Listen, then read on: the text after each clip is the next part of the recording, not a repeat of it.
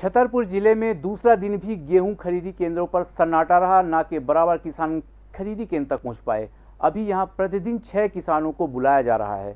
छतरपुर में बड़ी मुश्किल से इक्का दुक्का किसान सोसाइटी में पहुँच रहे हैं। रोज़ाना छह किसानों को केंद्र से मैसेज पहुँच रहे हैं, लेकिन फिर भी किसान अपना गेहूँ नहीं ला पा रहे।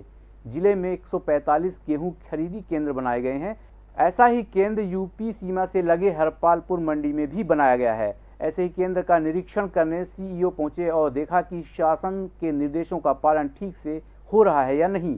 अधिकारियों को किसान भी अपनी समस्या बता रहे हैं। उसका कहना है, अभी छोटे किसानों को खरीदी केंद्र भेजा जा रहा है, जिसकी वजह से उन्हें परेशानी उठानी पड़ रही है।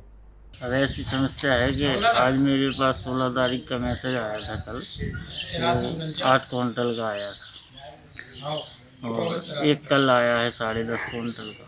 अब ऐसे फुटका का खुद का हम कहाँ तक लेके जाए? ऐसे भाड़े से थोड़ी ट्रैक्टर। हाँ समस्या ऐसी आ रही, जैसे मैंने कहा था कि कल की, आज की, मैं दोनों दिन की आज ही डाल सकता हूँ तो ऐसे है, कोई दिक्कत नहीं थी इसमें।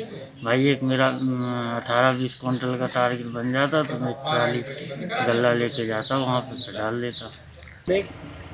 एक विस्तृत प्लान बनाया है पूरे ज़िले के लिए कि कैसे हमें उपार्जन करना है। हमें सिर्फ़ एफ़ का गेहूँ खरीदना है। इसके साथ साथ जितने भी सभी मूलभूत सुविधाएँ हैं, वो सारे गेहूँ केंद्र पे होनी चाहिए। एवं कोई भी किसी तरह की अनियमितता ना हो, इसलिए हमारे सर से सेक्टर अधिकारी नियुक्त किए गए हैं, पर्यवेक्षक नियुक्त किए गए हैं और आज सभी के, सभी फ़ील्ड पे हैं, क्योंकि ये ज़िले का सबसे दूरस्थ केंद्रों में से एक है, इसलिए मैं स्वयं आ रहा हूँ, ताकि इसकी गंभीरता इस्टेब्लिश हो कि उपार्जन में कोई भी हम किसी तरीके की अनियमितता या फिर कोताही नहीं बरतें।